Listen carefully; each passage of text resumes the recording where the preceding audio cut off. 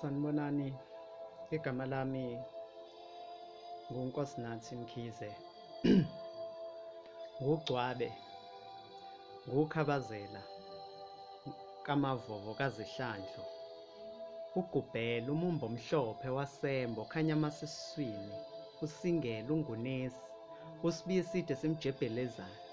Usibiye eside simaphandle saphandlela abenguni bavungama. Ngisaqhubeka nayo ke lento yolwazi olusixhumanisa nabakithi abaphilayo kwelikamoya okhokho bethu. Eh mhlambe indlela engizoyibuka ngayo namhlanje indlela yo ngokwenkolo. Ah izinkolo eziningi aziphikisani nokuba khona kwamathongo. And njengoba ngike ngasho ngaphambilini ukuthi asiwakhonzi amathongo kepha siyawaphakamisa meaning we acknowledge and honor them. Ngokuyalelwa ke imithetho elishumi eh ikakhulukazi lo othi hlonipha uyihlo nonyoko ukuze izinsuku zakho zande ezweni. Inkolo yobuKristu nayo ayiphikisani namathongo.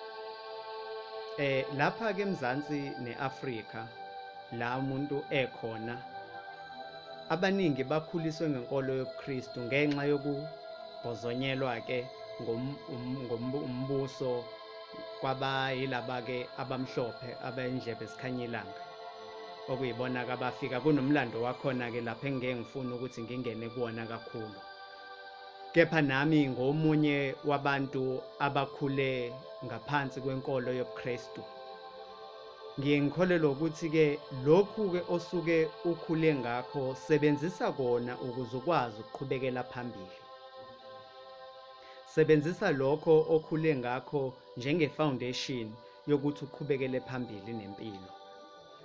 Ah abaningi abantu abaphilayo manje kulomhlaba especially kuleli zwe lethu eSouth Africa ah bazi ngoNkulunkulu kepha abaningi abazi ngemvelaphi yaleli gama.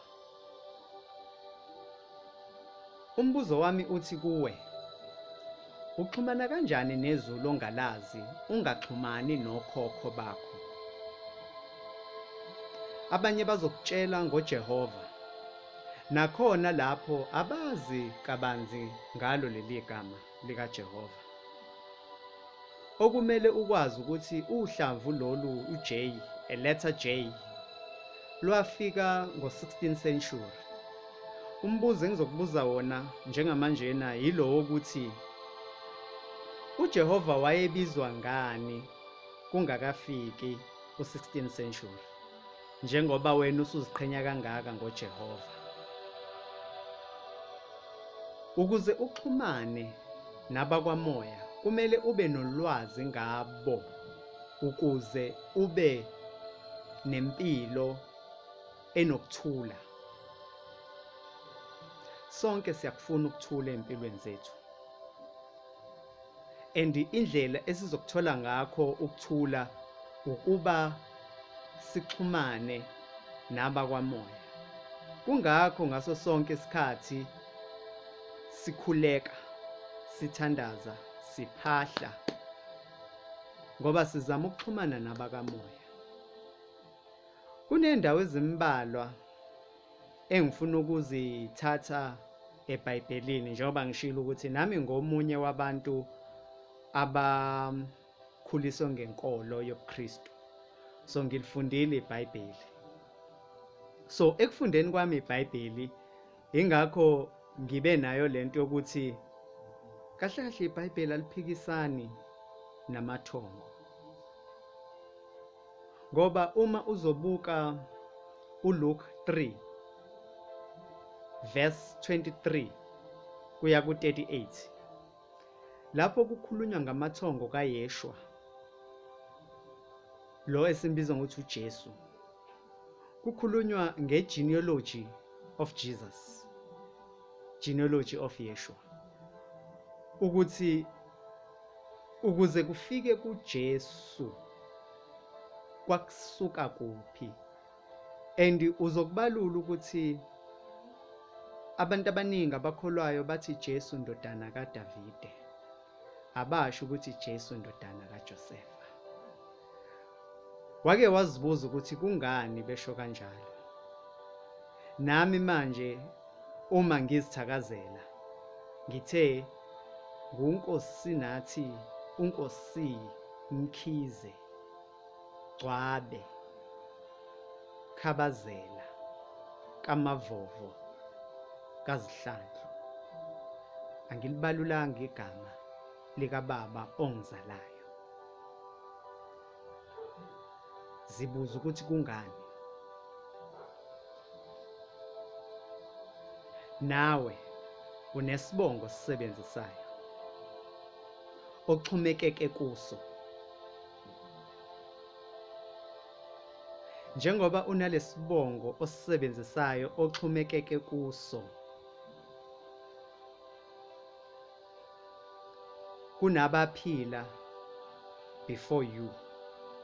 Bayihamba lende lendlela baye bayihamba lendlela ukuze wena lamhlanje uphile lempilo oyiphilayo. What are you doing to acknowledge them? What are you doing to honor them? Hayi ukuthi uyabakhonza cha. You honor them you acknowledge them. The fact that unesibongo ozibiza ngayo the fact that you have a DNA okusho ukuthi khona lapho iqhamuka khona. So even nasebhayibhelini ke ngakuthola ukuthi hawu kwayena uyeshwa lo ko uJesu lo esikhuluma ngaye esishunyayezwa ngaye kwayena kanti unamathongo. uJesu indodana kaDavid uDavid ithongo lakhe uJesu. So uzokuthola lokho kuLuke 3 verse 23 kuya 38 uzosifundela. Uh, enye futhi incwadi engizoyibalula ile kaMark 9 ngokaMark 9 kusukela evesini lesibili kuya kuverse 9 so Mark 9 verse 2 to 9 lapho kukhulunywa ngaye futhi uYeshua esentabeni ehamba noPeter noJames noJohn. Lapho kuthiwa kwavela uMose noElijah. Wena okholwayo ngiyacabanga ukuthi uyawazi umlando waleli iBhayibheli olifundayo ukuthi igap phakathi kwaJesu noMose ingakanani. Igap phakathi kwaElijah noJesu ingakanani.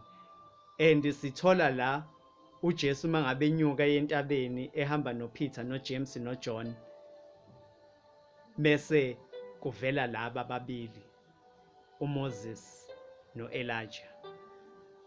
So uma ufunda khona lapho uyathola futhi ukuthi omunye walaba ababehamba noJesu waze wathi benze ukudla kwabantu abathathu yini ngoba phela bababona ukuthi bathathu futhi ngendlela ababethuke ngakhona bathi mhlambe akufanele ukuba baba khona laphayana. uJesu wazi wabayalelwa kulalelani-ke lokho enikubone namhlanje nize ningatsheli muntu up until indodana yomuntu ifeze lokhu ekuzele emhlabeni or ivuke kwabafileyo. So e- e- e- eng- eng- engizama ukukubalula la ukuthi kwayena uJesu waxhumana namathongo wabonana noMose noElijah esentabeni.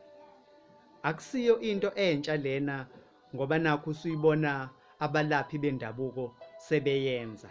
Into endala le eyenzeka even before kwayena uJesu abe khona emhlabeni. Okunye futhi okufakazela ukuthi ngale kuyaphilwa bakhona laba bamathongo. Uzofunda incwadi kaLuke 16 verse 19 kuya 31 lapho kukhulunywa ngendoda okwakubizwa ngokuthi uLazarus owafa wathathwa ingelosi wathathwa idlozi lakhe. Ngichazile ukuthi idlozi nengelosi into eyodwa. Waya ku-Abrahamu Abrahamu naye oseyithongo kade ahamba emhlabeni. Uyathola futhi la kwakukhona nenye indoda naye yisicebi naye yashona yayobona futhi naye uAbraham yona ke leyo ndoda yaze yakhuluma naye. Kuleyo nkulumo yilapho sithola khona ukuthi khona lesisho sesiZulu esithi lithatho semsamo limphonso semnyango. Limphonse emnyango lithatho semnyango limphonse emsamo. So uyabona ukuthi lento kahle kahle into ekhona. So umbuzo wami kungani abantu beyiphika pho? Laba bathi bona bayakholwa? Engikuqonda kabanzi ukuthi ezweni likamoya there is no time there is no distance and there is no judgment. But there are lessons okufanele afundwe yithi thina sisahamba kulomhlaba thina siyazi njengendle emnyama ukuthi sinomenzi wakho konke. Lo menzi wakho konke ubizwa ngokuthi i-universe. Abanye abanye bambiza ngokuthi prime creator. Unezithunywa zakhe lokhu abakholwayo abathi ama-archangels. Lezi zithunywa zikamenzi wakho konke zisebenzisa zisebenza kanye namathongo ethu ngokwezibongo zethu ngokuxhumana kwethu. Uyabona yini ukuthi kuyacaca ukuthi lokhu wena othi akukho ngoba awukholelwa kona awukholelwa kulabo abangasekho uphika into eyayenzeka ungakazali? Uphika into eyisiqi salenkolo okholelwa kuyo.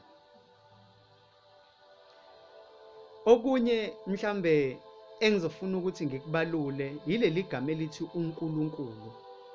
Ngizokunika nje umlando omncane ngaleli gama elithi uNkulunkulu njengoba namhlanje wena usuziqhenya kangaka ngaleli gama usukhuluma ngalo kangaka kodwa uyitshela ukuthi okunye kanti mhlawumbe uzothola ukuthi namhlanje lento engizokutshela yona ihlukile kunale obukade unayo emcabangweni yakho. Leli gama laqhamuka nendoda okwakuthiwa u-Alan Gardner. Ngezikhathi zawo 1830 wayelokhu ebuza abantu abakhuluma isiZulu ukuthi yini bona abakholelwa kuyo. Kahle kahle he wanted to find out about their cosmological outlook. So bamtshela ke ngomkhulu womkhulu womkhulu abaxhumana naye nobasizayo u-Alan Gardner because of i-language barrier wabiza leli gama ngokuthi ukhulukhulu wami or khulukhulu. Eh ngiye ngazama ukuyibhala ke lento mhlambe uzoyibona. Angazi noma iyabonakala yini. Walibhala kanje. Khulukhulu wami. Yilapho ke leli gama lavela khona ukuthi uNkulunkulu kahle kahle likhuluma ngomkhulu womkhulu womkhulu wami. Okhokho bakho labo amathongo akho lawo. So uma uthi uNkulunkulu ngicela ungisize. Usuke kahle kahle uthi khokho bami ngisacela ningisize.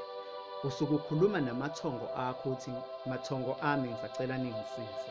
Uma uthandaza kuNkulunkulu ngifuna wazi kusukela namhlanje ukuthi usuke uthandaza kumathongo akho ngoba leli gama elithi uNkulunkulu laqhamuka nomlungu okwakuthiwa u-Alan Gardner.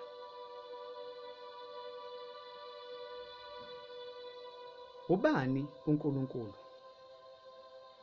Yithongo leli elimele lapho thina siqhamuka khona ngokomzimba nangokomphefumulo. Ngikhuluma la through reincarnation with past lives and experiences because we learn through experiences. Lixhumene nemvelaphi yethu ngokomlando wethu njengomuntu ohambayo nophilayo emhlabeni. Ithongo lakho leli. Lezi ithunywa zikamenzi wakho konke bengikhuluma ngazo engiyogxila ngazo mhlambe next time. Ngikhuluma ngoma unomoyi unomkhubulwano usonzwaphi usodumo umlenze emunye umvelinqangi usomandla. Yizona-ke zithunywa lezo umenzi wakho konke asebenza nazo ukuthi asebenzis- asebenzisane namathongo ethu ngokwezibongo zethu. Laba bezenkolo-ke babiza lezi thunywa ngokuthi ama-archangels.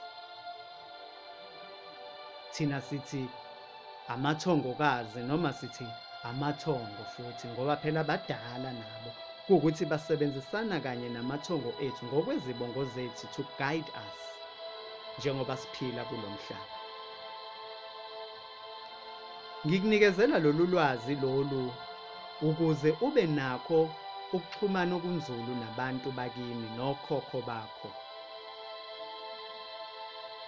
Ngiyathemba ukuthi lokho engikushilo nengikunikeze kona namhlanje